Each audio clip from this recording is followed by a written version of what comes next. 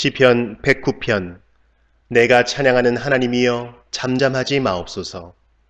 그들이 악한 입과 거짓된 입을 열어 나를 치며 속이는 혀로 내게 말하며 또 미워하는 말로 나를 두르고 까닭없이 나를 공격하였음이니이다. 나는 사랑하나 그들은 도리어 나를 대적하니 나는 기도할 뿐이라.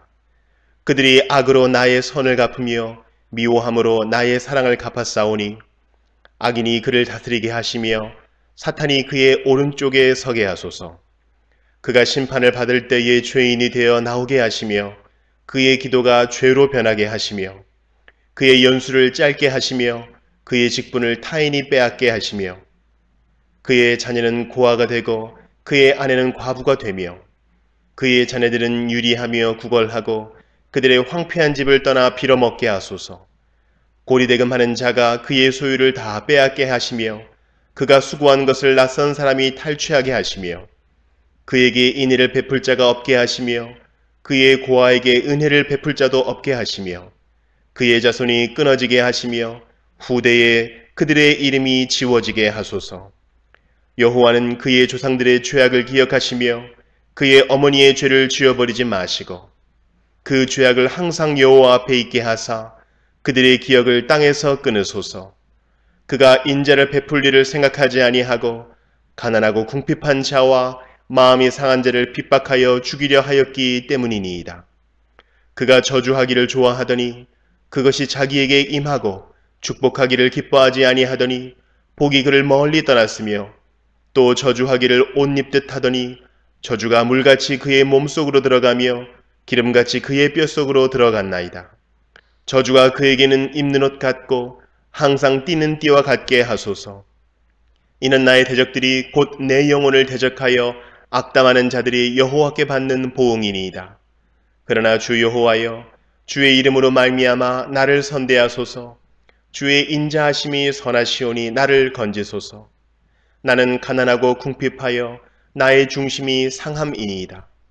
나는 석양 그림자같이 지나가고 또 메뚜기같이 불려가오며 금식함으로 내 무릎이 흔들리고 내 육체는 수척하오며 나는 또 그들의 비방거리라 그들이 나를 보면 머리를 흔드나이다.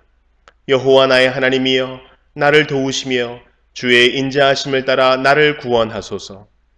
이것이 주의 손이 하신 일인 줄을 그들이 알게 하소서. 주 여호와께서 이를 행하셨나이다.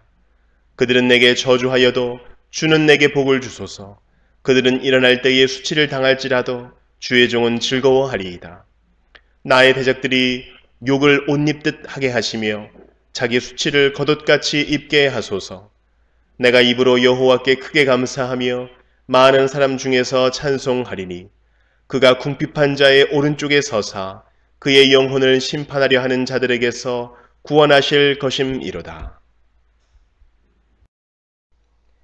시편 110편 여호와께서 내 주에게 말씀하시기를 내가 네 원수들로 네 발판이 되게 하기까지 너는 내 오른쪽에 앉아 있으라 하셨도다.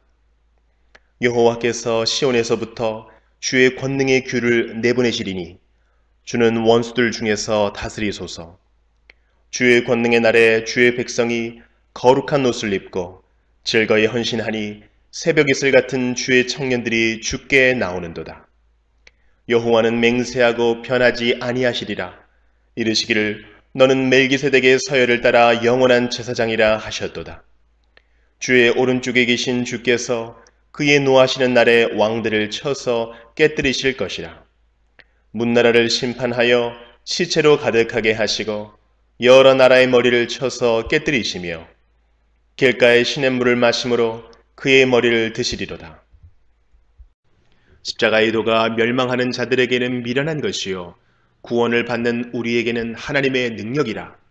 기록된 바 내가 지혜 있는 자들의 지혜를 멸하고 총명한 자들의 총명을 폐하리라 하였으니 지혜 있는 자가 어디 있느냐? 선비가 어디 있느냐? 이 세대의 변론가가 어디 있느냐? 하나님께서 이 세상의 지혜를 미련하게 하신 것이 아니냐? 하나님의 지혜에 있어서는 이 세상이 자기 지혜로 하나님을 알지 못하므로 하나님께서 전도에 미련한 것으로 믿는 자들을 구원하시기를 기뻐하셨도다.